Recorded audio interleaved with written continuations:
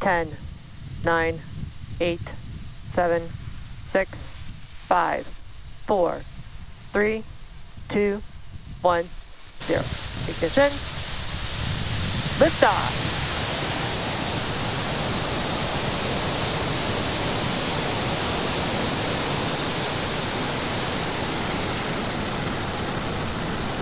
Vehicle is pitching downrange. M1D propulsion is nominal.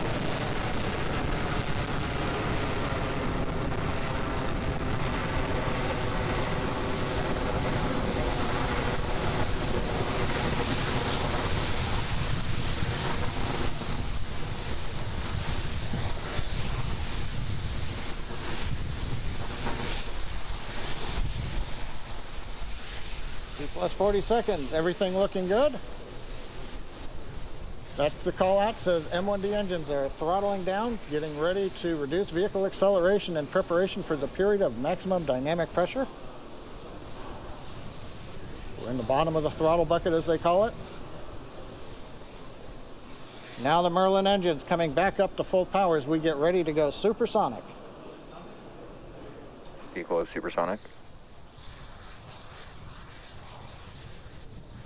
Supersonic, we're coming through the period of maximum dynamic pressure. Vehicle has reached maximum aerodynamic pressure. Guidance engineer confirms we're through the period of greatest pressure on the vehicle. Continuing downrange, trajectory looks good, propulsion looks good, avionics looks good.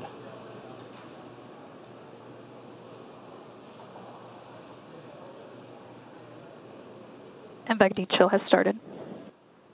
That announcement from stage two propulsion. We are now beginning to chill in the turbo pump on the upper stage engine to get ready for its ignition coming up in about 45 seconds. Nice view from the SpaceX cameras at Cape Canaveral as we head east out of Space Launch Complex 40 into the first of two orbits planned for today. This orbit is the parking orbit, a low Earth orbit uh, trajectory that will take us uh, over the equator and will eventually relight the upper stage engine to transfer us into the desired geostationary transfer orbit. Now, main engine cutoff, or MECO, coming up in several seconds, followed by pneumatic separation. The first stage pushes away from the second stage, and then ignition of the second stage engine.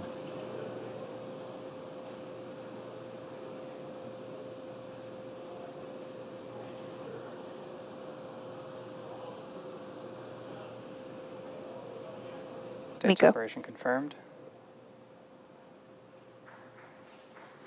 MECO on time. Stage sep looks good. And the call out MVAC D engine is at full power.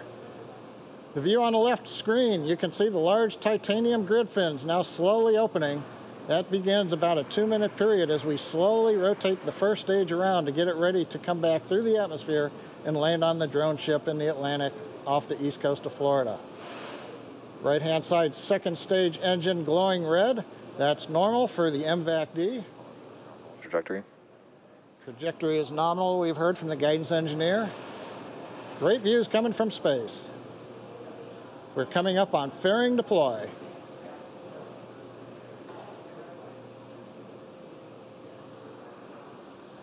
Fairing separation confirmed.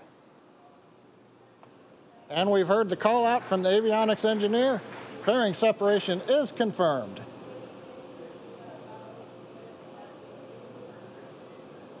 I think you can see in the background behind the MVAC D nozzle, uh, one half of the fairing way in the distance uh, as it went past the camera.